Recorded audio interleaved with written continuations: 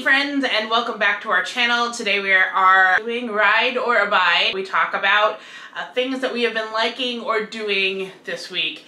Now it's been kind of a crazy week this week, not only with work and whatnot, but also because of the elections. But I think we're both mm -hmm. kind of relieved right now about how everything has turned out.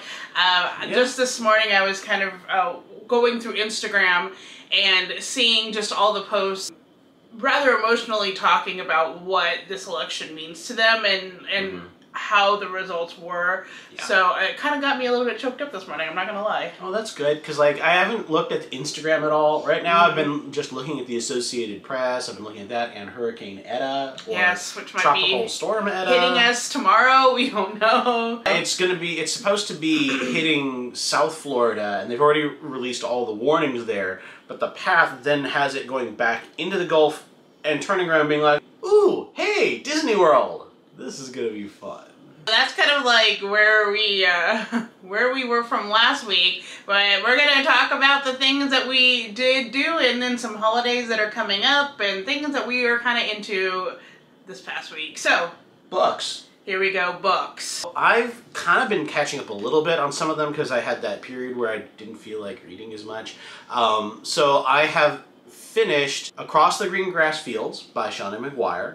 Uh, I'd say that's more of a four star for me. And then I also did Anxious People. Oh, that was so good. Such a good book. Five star out of me for that one. Mm -hmm. This week I, for some reason, just got in this big like reading like grew and of the seven days I read six books, which is crazy. Curvy Girls Can't Date Billionaires, which is by Kelsie Stelting. This is the second book in the Curvy Girls Club series. The third one is already out, which I think is Curvy Girls Can't Date Cowboys. And I really enjoyed this book again. I gave it four stars. It's basically the story of uh, Jordan. She's more lower income uh, Latino girl, and uh, she is trying really hard not to fall for this like tech uh, entrepreneur who works with his dad to create an app and kind of misjudges him as being someone who only cares about money, blah, blah, blah. So it's kind of a predictable book, but again, it's just really good. And, and I like this series because each book is about one of the girls in the Curvy Girls Club. The next book is about Ginger, and then after that, I think we're gonna have Callie and Zara, I think is her name. So those are the uh, those are the other three we saw. But anyway, they're they're very good. All the same, if you like um, young adult romantic books, then this is definitely the book for you. Next, I thought it was appropriate to read Campaign Widows. This is by Aimee Agresti. I gave this book three stars, honestly. It is counterparts of people who are involved in campaigns, whether they're running the campaign, running for office themselves, or maybe they're in charge of fundraising for the different campaigns. These are either them or their counterparts, which are called campaign widows, because they're kind of left behind in this whole like thing happens. Mm, there are a lot of characters in this book. I'm not gonna lie, I had to make a list to keep them straight. Oh, and for me, that just kind of like made it a little less enjoyable to read because I couldn't keep it straight. And that's why I gave it three stars. The next book I read is called A Princess for Christmas. That's by Jenny Holiday, um, which I thought was funny because her name was Holiday and it's a Christmas book. But basically, she set out to write a Hallmark uh, movie type book. And she did it quite well. Of course there's a big theme about royals during the holidays. So this is about a uh, princess who comes to speak at the UN but has to go to get on a, a boat to like have go to a party. And she her car breaks down, the one that they've ordered for her. So she ends up hailing a cab and the guy who drives the cab has his little sister in the car and he takes care of her, has to drive her to the boat and in doing so they strike up a friendship. So then after spending some time while she's in America, he goes over to her country, which is called Eldovia, which I thought was hysterical because I believe the country in uh, Christmas Prince on Netflix is called Aldovia with an A. so I was like, that's fun. So then, of course, they strike up a romance, other things happen, etc., etc. I thought this was like a, a well written book. I thought it was adequate and I thought it was great for the season, so I gave it three stars. Leave the World Behind, and it's by Rumaan Alam. I think I said that correctly.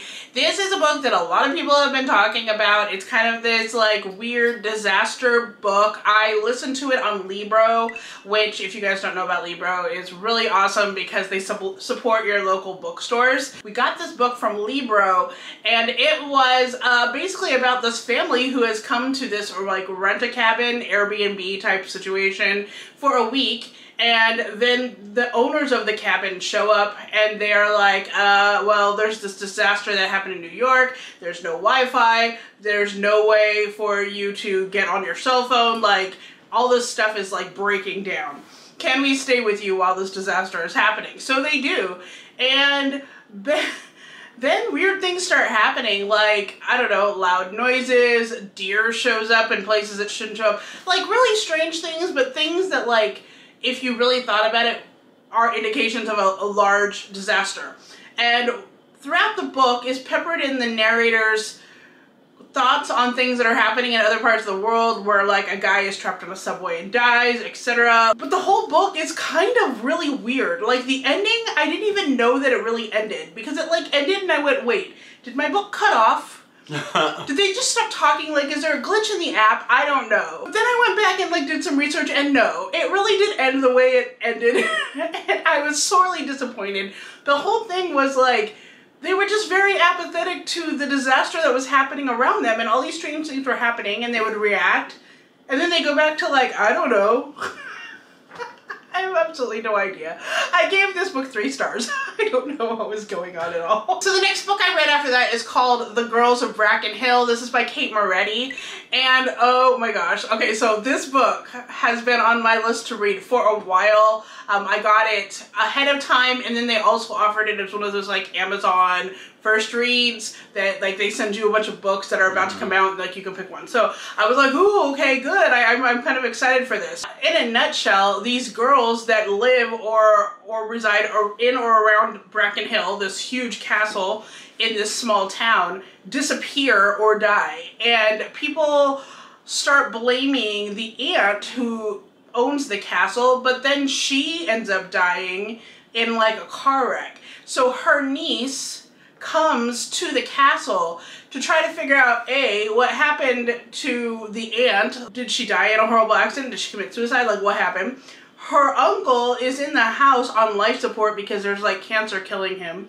Her sister, 17 years earlier, disappeared. No one could find her. So as she's in this castle, her dog finds bones on the castle grounds and she's like, is it her sister? And it turns out that it is not her sister, it's somebody else. So she starts having these realizations that she can't remember a lot of what happened when it comes to her sister's disappearance. So she starts remembering these things.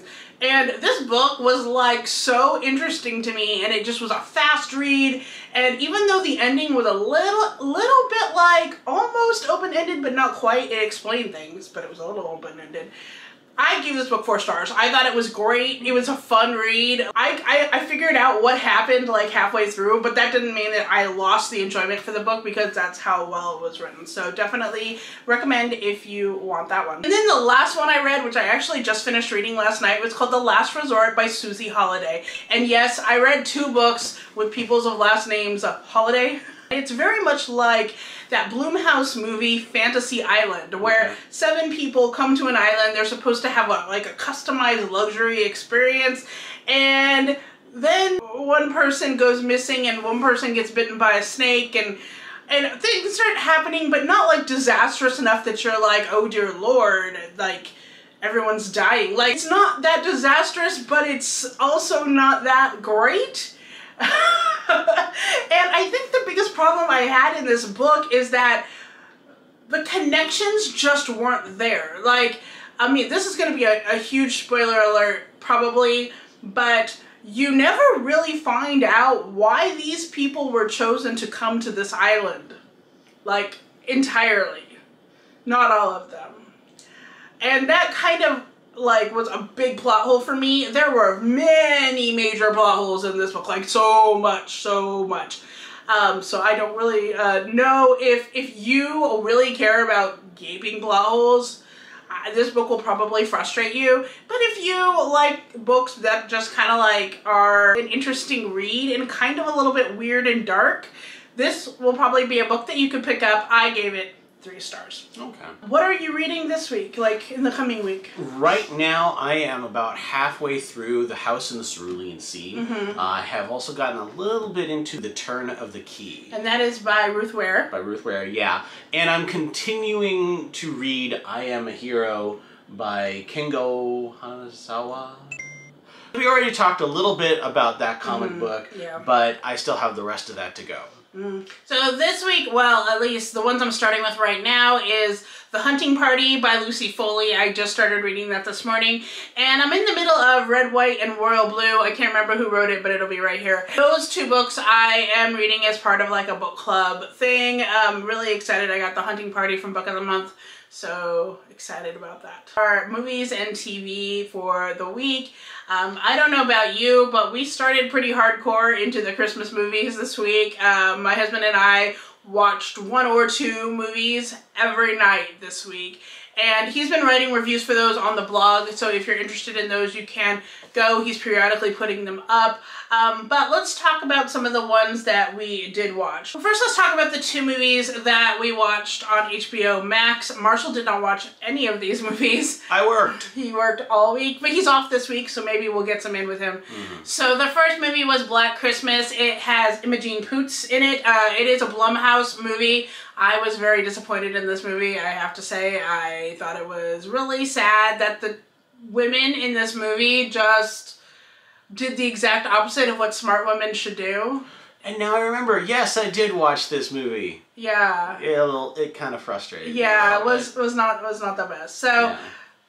No. The second movie we watched was A Last Christmas. Um, these are both movies that came out last year, but we had not seen them, so we were we were waiting till now to watch them.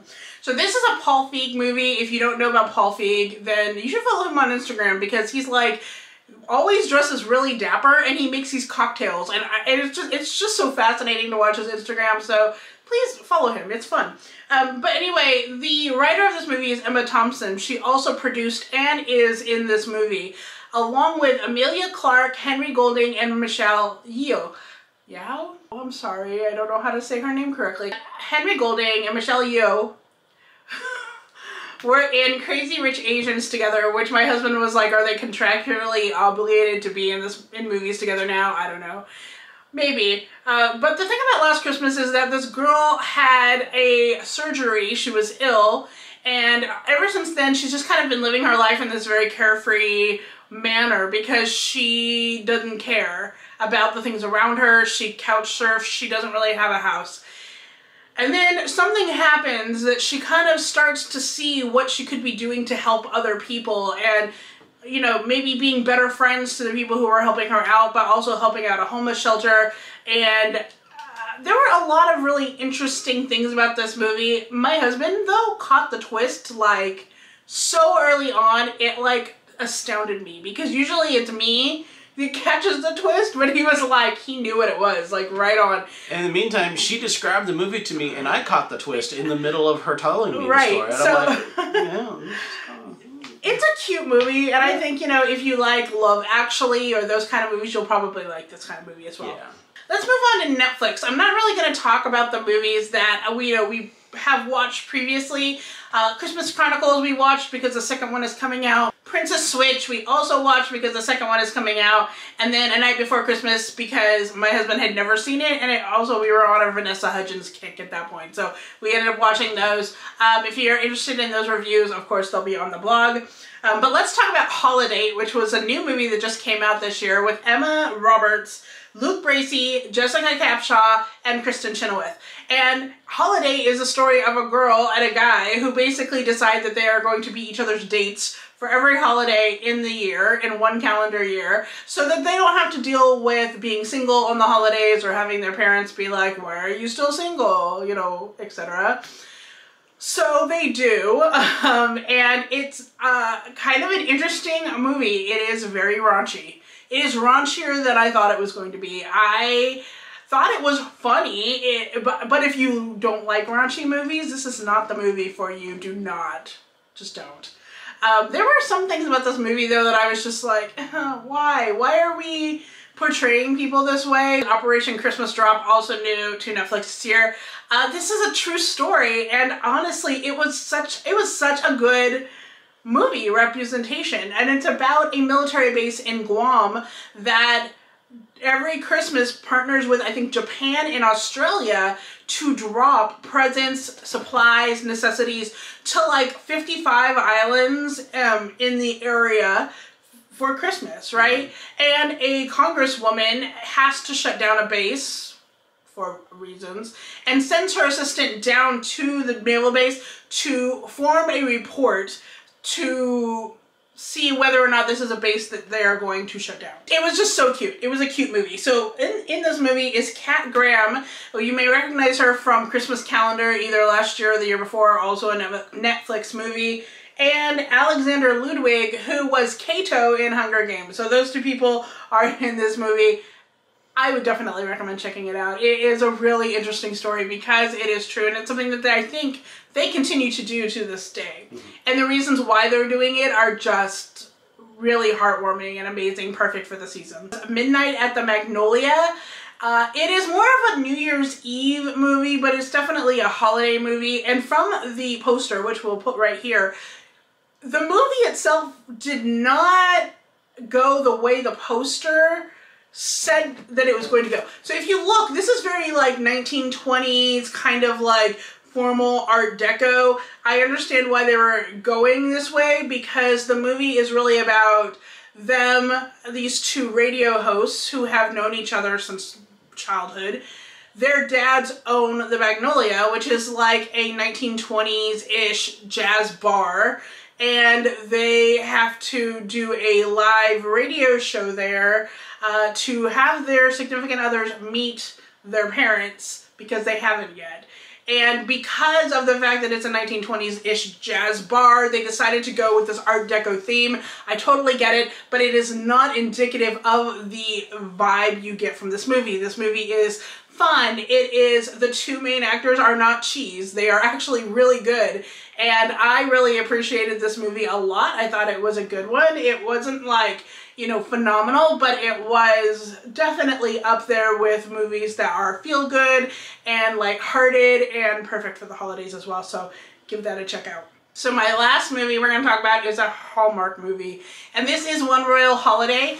And it is the story of a royal family, here we go again, who decides they are going to uh, try to make it to the airport to leave and can't because they're snowed in. So this girl they meet at a donut shop has a bed and breakfast that's run by her family decides to let them come into their bed and breakfast and experience a small town Christmas so nice. The interesting thing about this movie, probably the most interesting thing about this movie, is that they decided to cast the entire main character lineup with Broadway stars, which was great. So we have Aaron Tveit, you may recognize him from Les Mis, especially the movie version of Les Mis. Laura Osnes, who was Cinderella on Broadway. Tom McGowan, he was in a version of She Loves Me, if you want to mm -hmm. catch that on Broadway HD. I think it's still on there. Uh, Victoria Clark, she was in a movie called Cradle Will Rock, but she also got a Tony nomination, I think, for Light in the Piazza on Broadway, and also Crystal Joy Brown, who was in Motown the Musical. So, if that can tell you the amount of money that was put into this particular movie on Hallmark, that should explain everything. The acting was amazing for a Hallmark movie, yeah. and it was actually like, it was just, it was so I don't know, it was so nice. Even though it gave me intense Christmas Prince vibes, it was a good movie. I saw just a few minutes of this, and I got no cheese right. from any of it. And the music is really good. Mm-hmm. Really good. Yes. If you have the opportunity uh, and the means to check out this Hallmark movie, I actually, I actually do recommend this one a lot. So that's pretty much what we watched. Um, we did start The Queen's Gambit last night. Um, we'll talk maybe more about that next week if we decide to finish it. Yeah, because we're gonna we're gonna give it a little bit more of a shot. Mm-hmm. Um, we also watched the second episode of Mandalorian, We did. Mm-hmm. and we are now up to date on The Long Way Up. Mm-hmm. That was a fun cliffhanger. Yeah, so we're waiting for one more. We'll talk about that as well when the season winds up. I'll talk to you about how what that is about. So that is all of our Television. all the media. I have been playing uh, Paper Mario Origami King. Recently, I got it for my birthday from Marshall, and uh, I have been really enjoying it. The only thing that I haven't really been enjoying about it is I don't like the battles uh, because they're very repetitive and they also are also timed. So I'm just it. I don't like things where I have to like sit there and be like, okay, okay, I got to figure this out right now. I like to kind of take my time and figure out how to play things, which is why I like regular Mario in this game a lot better because there's no time limit.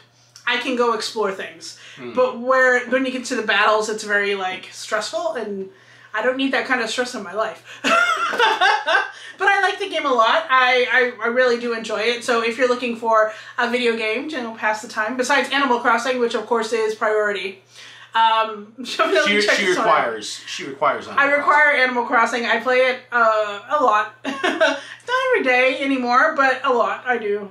Holidays. So November, we are we are dealing with quite a few interesting ones. November twelfth is Hill Valley Lightning Day. Um, now the Hill Valley has is one of its big landmarks is its uh, courthouse with a clock tower, and that clock tower was started at 8 p.m. September 5th in 1885, and the courthouse was finished alongside the Clayton Ravine Bridge, uh, and it stood for ages. On November 12th, 1955, however, the lightning rod became disconnected somehow. And when lightning struck from a huge storm, the gears fused at 10:04 p.m.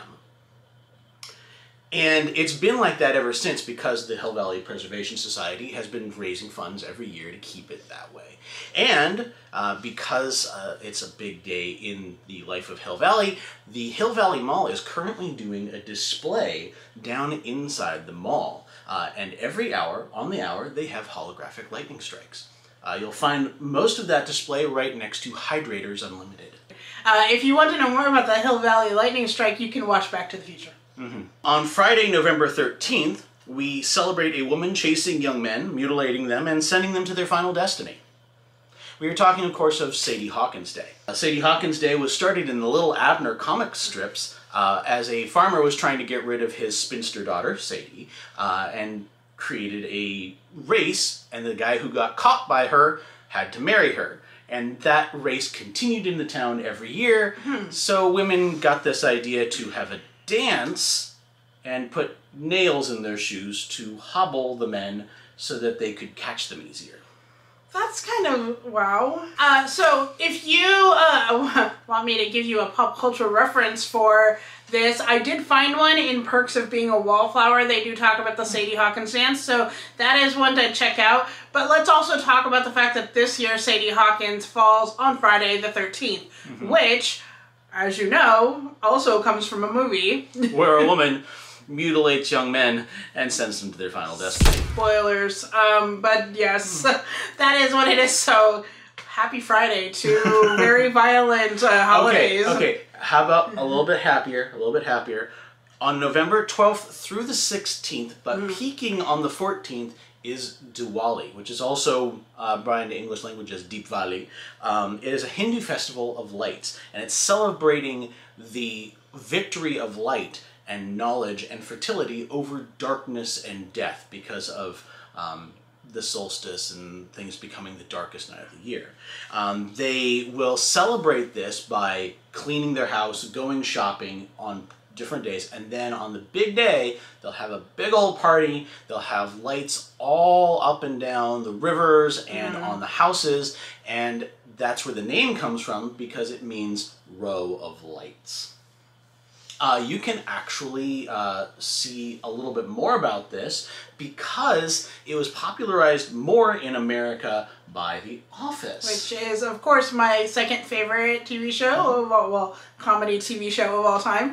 Uh, and of course, they they have an entire Diwali celebration, and Michael decides he's going to sing a song that is based off Eight Crazy Nights, but it's themed to Diwali.